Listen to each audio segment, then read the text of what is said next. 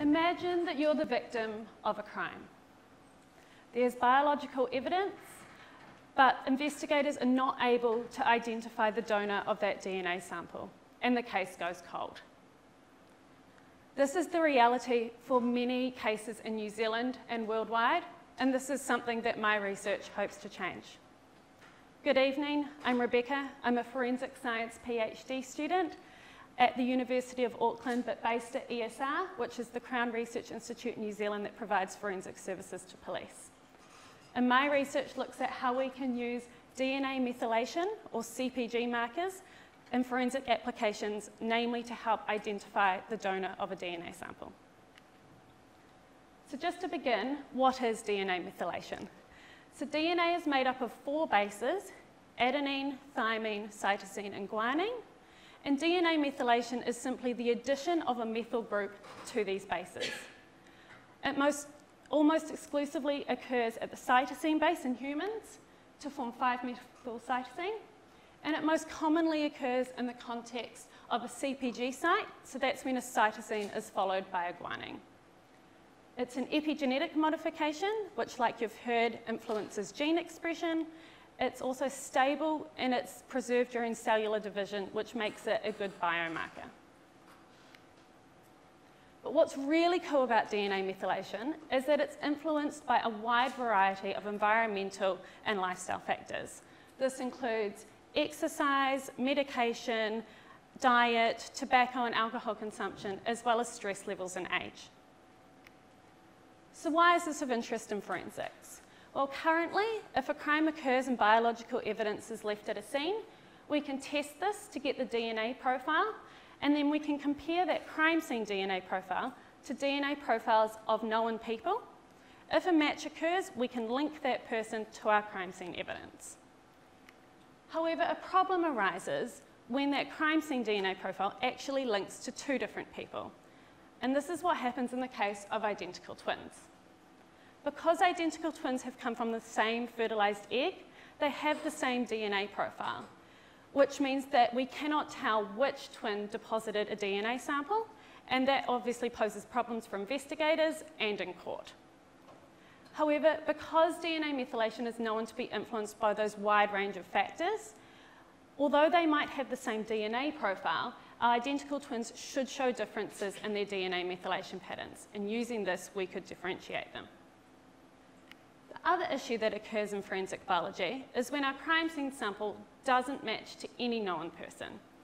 Now, in these cases, we usually can't give investigators much more information.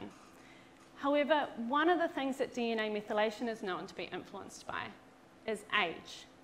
So if we could find DNA methylation correlated markers that are correlated with age, we could be able to perform a prediction model and actually estimate the age of a person from their DNA and provide this intelligence information to investigators. So these are the two applications that I'm interested in my research.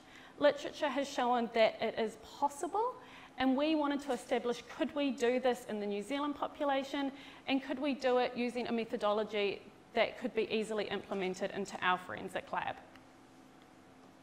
So the objectives of my research are first to identify CPG or methylation markers that are either correlated with age or could be used to differentiate identical twins, develop these into marker panels and use them in forensically relevant body fluids, test in a New Zealand population, and then we also want to explore the variables that could impact the accuracy and finally validate this methodology for casework.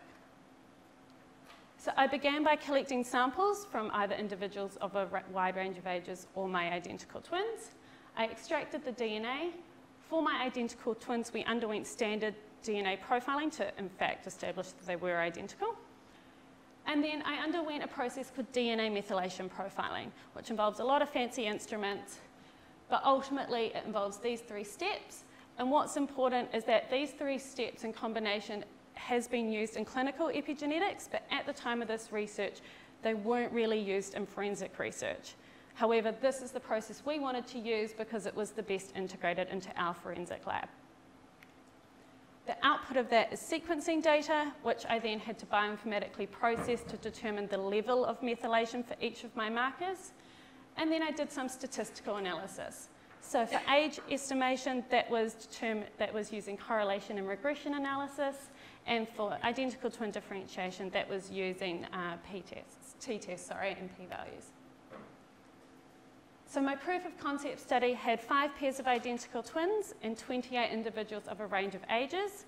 My individuals were roughly evenly distributed across my different age groups. I collected buccal, which are cheek cell samples, blood finger prick samples, and semen where possible from my participants. And then I developed four different multiplexes. So multiplexes are a way that we can look at a whole bunch of markers from the same DNA sample.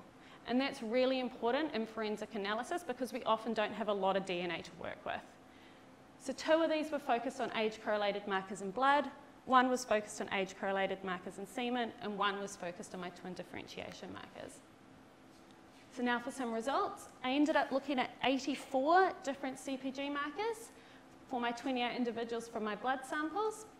And some of these, as you can see, showed quite a decent correlation with age. I then used a process called stepwise regression to identify the best combinations of markers to put in my prediction model. And I ended up developing this linear regression model which had three markers and that had an adjusted R squared of 0.87. So R squared is how way we can measure how well the model is working, with one being completely perfect and higher being better. This model also had a mean average deviation of 3.262 years, and what that means is that on average, my predicted age was just over three years away from my observed age of my participants. This research was very comparable to what had previously been reported in the literature from other studies that used other methodology. So that was promising for our methodology. I did the same thing with my semen samples. However, in this case, I only had samples from eight individuals. I looked at 10 sites. Again, some of them showed a really nice correlation with age. I ended up developing a linear regression model that had one site in it, and that had a mean average deviation of just over four years. And again, that was pretty comparable with what had been reported in the literature.